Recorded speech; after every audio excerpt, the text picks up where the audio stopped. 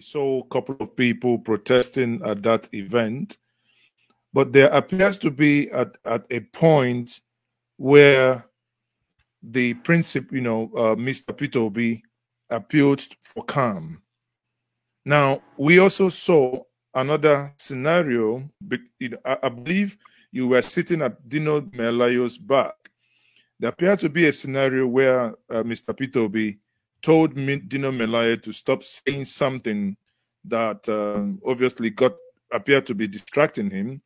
And the moment that happened, this morning we saw Dino Melaye release a video, which I'm going to show you, and I will be wanting your reaction to this video. I am in this video just to clarify the outburst by Peter Obi, the presidential candidate of Labour Party yesterday. It was not provoked. I was sitting far opposite the top um, seat where they were sitting. I didn't mention his name. And I was really surprised to see that type of outburst from a presidential candidate. Is that the type of president he's going to make?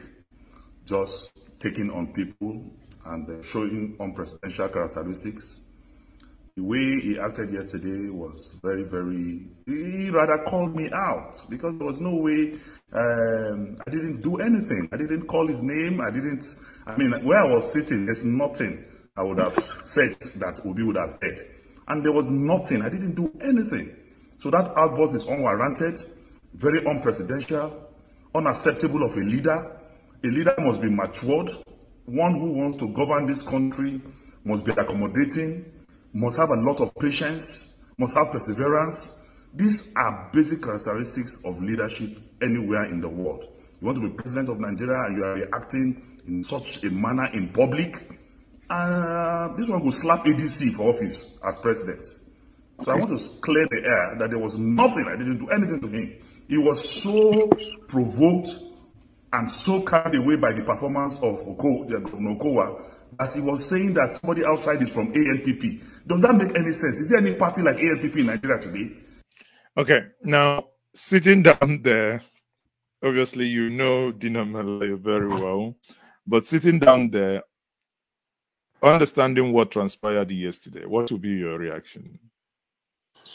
Yes, Mr. Peter Obi was reacting to the heckling by Mr. Dino Melaye when some members of the PRP made some protestations. And uh, Dino Melaye was saying, These are Labour Party people, Labour Party, Labour Party, Obidients. So Mr. Peter Obi interjected to say, Why are you always referring to Labour and Obidients? The man who made the remark, the people made the remark are of the PRP. They actually came with Mr. Kola uh, Abiola.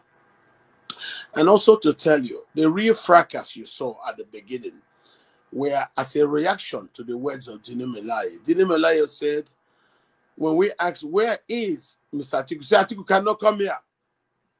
Atiku is too big. Atiku will only come here if Tinubu comes here.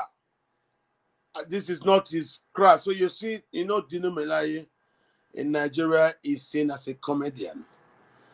And such behavior uh, that he puts up uh, would not be tolerated by a lot of people. So I think uh, when the heckling and his sustained pronouncement of Labour Party people, Obidients, Obidients, really got to Mr. Peter Obi, who noticed that the people Dino Melaye were calling Obidients were actually supporters of the PRP candidates. They were wearing PRP shirts and caps.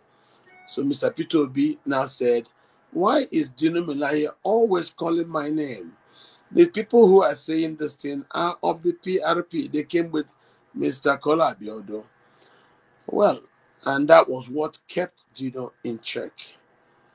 Dino Melaye, as we know, is one of the boyfriends of Mr. Atiku Abubakar and we know his behavior is not uh, a very good uh, one to write him about.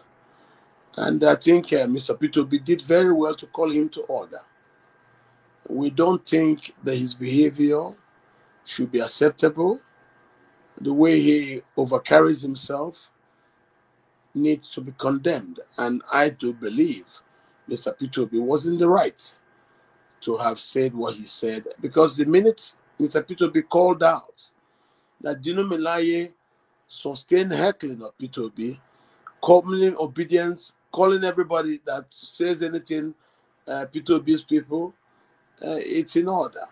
Because after Peter Obi reprimanded him, Dino Melaye now kept quiet and did not make any more noise.